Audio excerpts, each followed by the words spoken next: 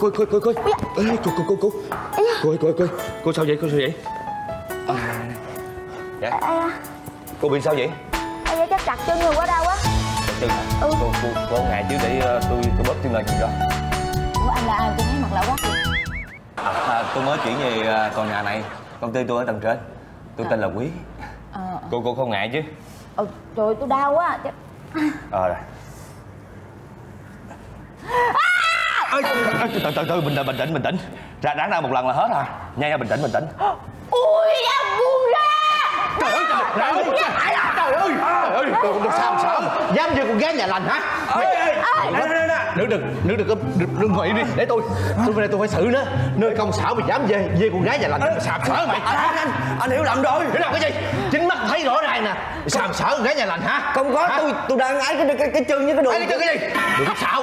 cái, cái, cái gì vậy Trời ơi cái tự nhiên cái đánh người ta vậy Tại sao đánh hả?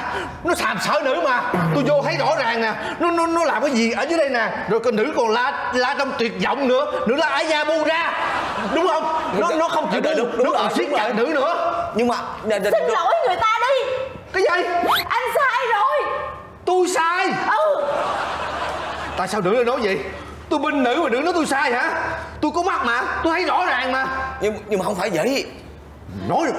Trời ơi anh ơi anh anh bao nhiêu tuổi rồi mà anh hành xử như con nít vậy? Cái gì nó cũng phải có nguyên nhân của nó chứ. Nữ. Nam Tôi thất vọng về nữ quá.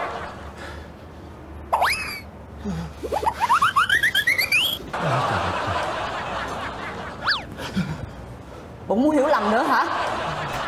Thì nữ hả? Ủa? Ờ à, Hình như là hồi sáng này mới gặp nhau ở sảnh công ty đúng không? À, hả?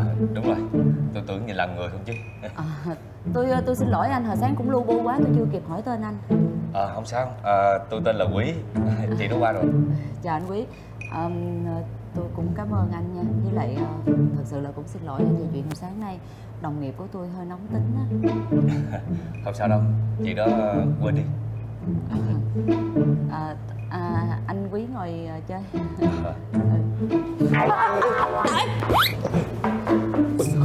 Có sao vậy? Mày ơi! Nữa à Mày tới rồi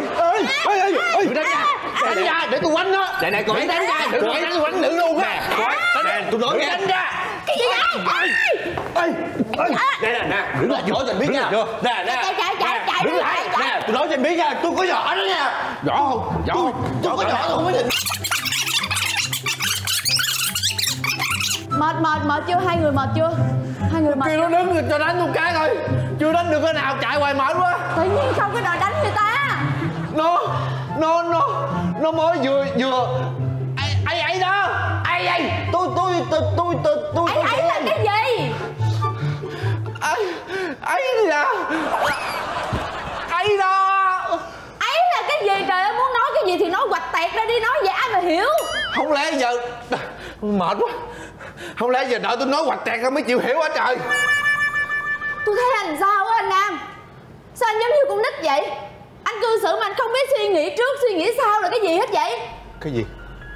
Nữ nói tôi cư xử không biết suy nghĩ hả? Anh không chín chắn một chút xíu nào hết. Tôi không chín chắn anh như một đứa trẻ con vậy đó. Tôi như đứa trẻ con. Ừ. Ok fine. Tôi trẻ con.